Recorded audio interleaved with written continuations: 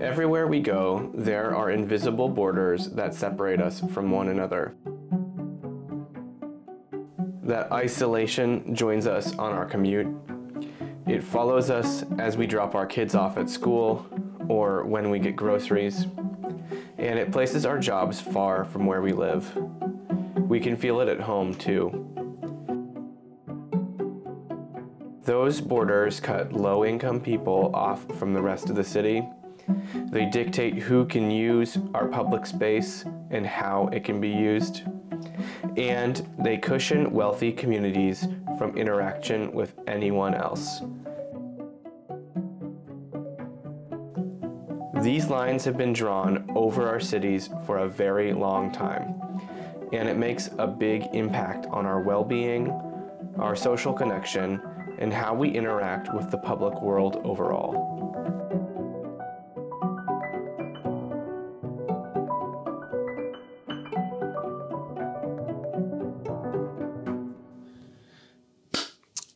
Okay, well, this is something that I have been thinking about for a while now. And I would say subconsciously, it's probably something that I think about uh, all the time. This idea of structural isolation that's built into not only our cities, but kind of everywhere in the United States. And I think for a lot of people, that really uh, became front and centered over the past couple of years. And, you know, there was even this beginning of a glimmer of hope for some folks that we may be moving in a direction where our social contract might be changing as cities opened up streets and things like this for social interaction as we got more and better tenant protections as we we did some things that really sounded um, very radical just a month before the pandemic. And I think it's something, even though a lot of these things have gone away, I think it's something that people really crave. And I wanted to talk about that. So why don't we get into it?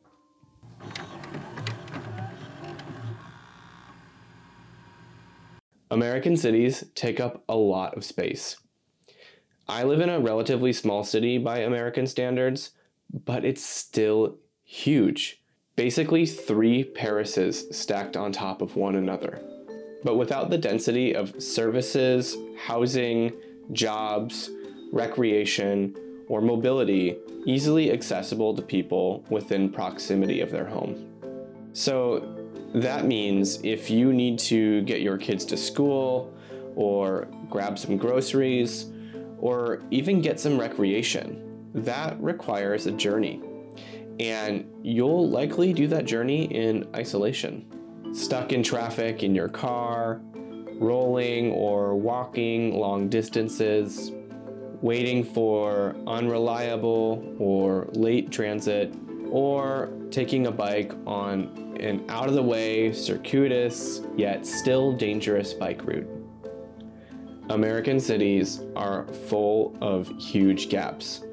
Spaces where we spend a lot of time, but we don't spend much time truly or meaningfully or even positively interacting with the people around us. The combination of geography and poor mobility options, coupled with a lack of resources spread out all over the place, really means that we're spending hours of our days just moving through space from point A to point B.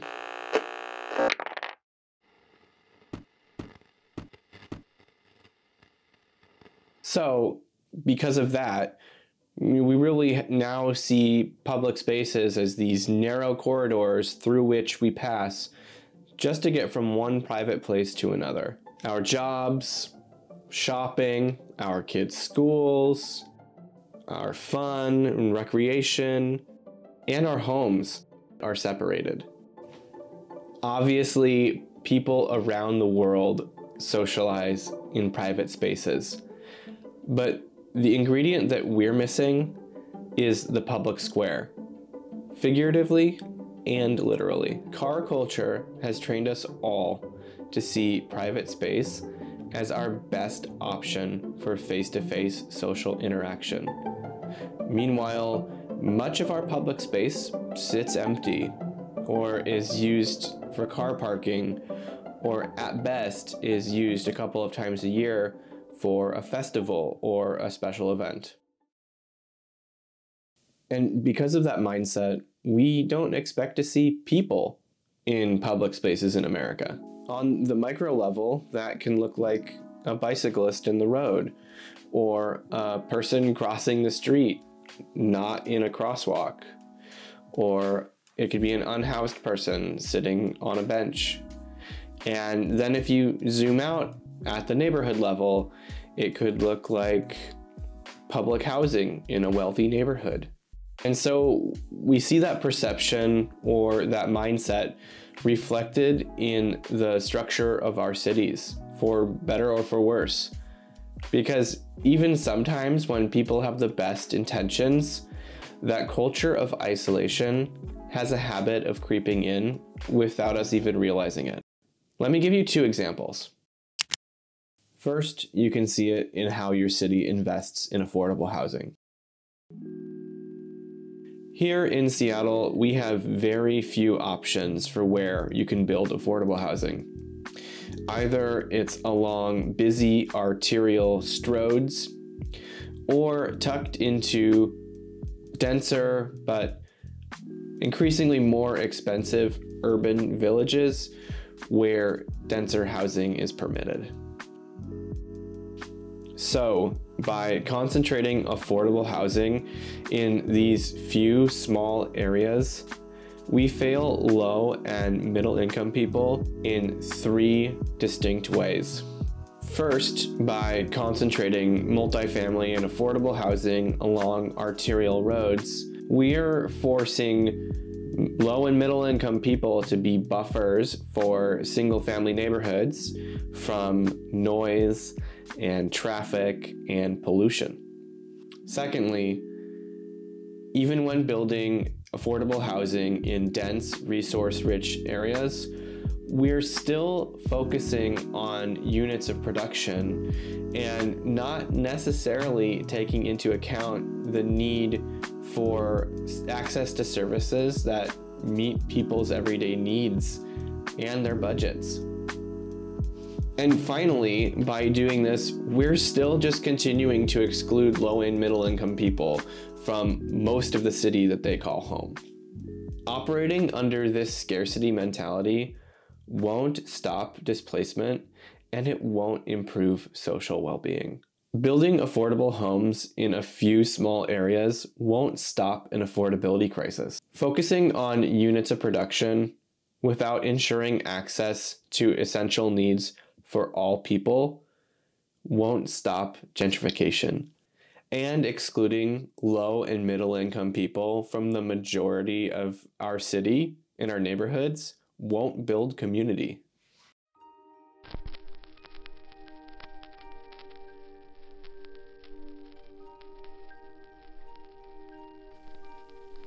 On the other hand, in a culture that puts more emphasis on solidarity, we could expect affordable housing in low income, middle income, and high income neighborhoods. We may even require a mix of housing available to people of all incomes in all new developments. We may even invest in affordable housing models like social housing that promote a social mix and intentionally fight against exclusion of people based upon race or income. And we may even require rent stabilized small spaces or financially support community owned commerce models that allow for businesses that meet people's everyday needs. Secondly, you can see it in the allocation of road space and in the design of infrastructure that we do have in place for people who are non drivers. Your city may offer protected bike lanes and wider sidewalks, multi use trails, bus only lanes in denser, more central parts of the city or in destination areas. They may build regional light rail lines, mostly along highways, that are there to accommodate for commuters coming in and out of the central part of the city. Still, even if these things are done with the best of intentions, non drivers are ending up being isolated from commercial areas and destinations and recreation, from their friends, from neighborhoods, from entire large parts of the city that they call home.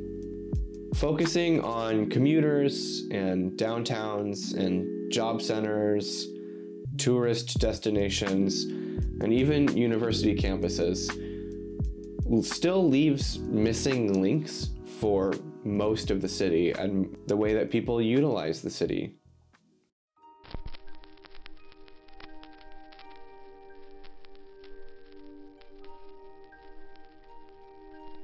On the other hand, in a culture where these decisions are made with solidarity in mind, you could see more connectedness between all of these modes. You might see a focus on how people get around their neighborhoods or between neighborhoods instead of being moved from neighborhoods into downtown and from downtown out to the suburbs, etc. And that connectedness might just become so ubiquitous that it's not even noticeable. People wouldn't feel the need to have to advocate for a stop sign or a sidewalk or a crosswalk or a speed bump they wouldn't feel like they have to go out overnight and paint guerrilla crosswalks or bike lanes. Neighbors wouldn't have to remind public transportation agencies or departments of transportation that taking the train or the bus or walking, taking your bike or rolling aren't necessarily for recreation or you know for some sort of transportation alternative or even by choice at all.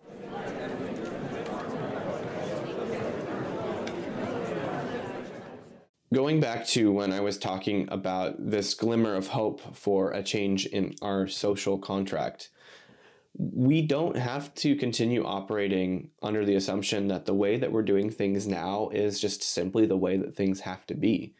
We can change that. And we can operate under a system that uplifts solidarity urbanism. You know, the idea that our cities should be built and functional for all people everywhere, regardless of who they are, their ability, where they live, how they get around. You know, this notion shouldn't be radical. And in fact, in a lot of places, it's not.